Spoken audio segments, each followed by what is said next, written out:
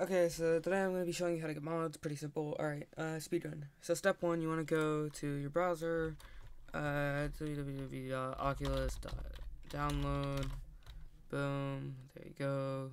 Download this. Yada yada yada. Set it up. It's like 5 gigs, so it'll take a second. And you want to do Steam download. Download Steam, and also download Steam VR. Boom. Once you have that, you just need to log into your Oculus account. You don't need like the you don't need your account specifically. You just need to log into a account. Then what you want to do? Open up Steam, download Gorilla Tag. Go to Manage, Browse Local Files, BepInEx, Plugins. Then here, so you won't have this. So I'll just delete that. This is what it'll. It's this is what it should look like. I actually shouldn't have any of these folders. This is from me downloading, uh, Monke Mod Manager. So that's why.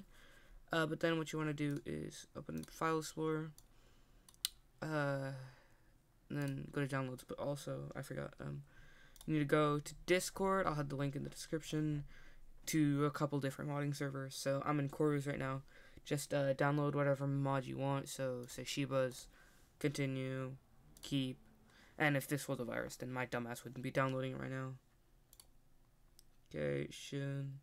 Then it'll say that, yeah, it's, it is safe, but, so since I already have it downloaded, so, where is it? Um, download, go take one and use. Then what you want to do is go take what menu you want, so, I want, uh, I'll take iClowns, right, iClowns. Drag and drop that, pretty simple. Close, close, play, i Oculus VR mode, boom, done.